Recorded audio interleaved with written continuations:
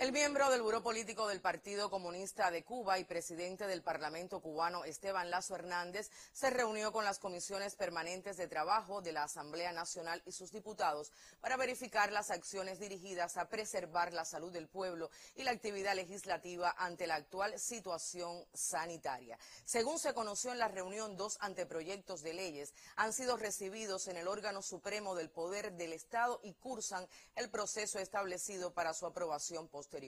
La primera norma presentada consecuente con la nueva Carta Magna establece la organización y funcionamiento del Consejo de Ministros y su Comité Ejecutivo, lo relativo al primer ministro, los viceprimeros ministros, el secretario y demás miembros del Consejo de Ministros. La segunda va dirigida a jerarquizar con rango de ley el funcionamiento del Estado en cuanto al servicio y acción exterior en congruencia con los principios de la política exterior y de la diplomacia revolucionaria consagrados en la nueva Constitución. Ambos textos se publicarán en el sitio web parlamentocubano.cu y se consignarán las cuentas de correo electrónico para que la población pueda emitir sus opiniones y propuestas. Esteban Lazo Hernández orientó a reforzar la labor de las comisiones del Parlamento cubano y destacó el valor de la información que recopilan al estar en contacto con el pueblo, sus representantes y las autoridades en los territorios.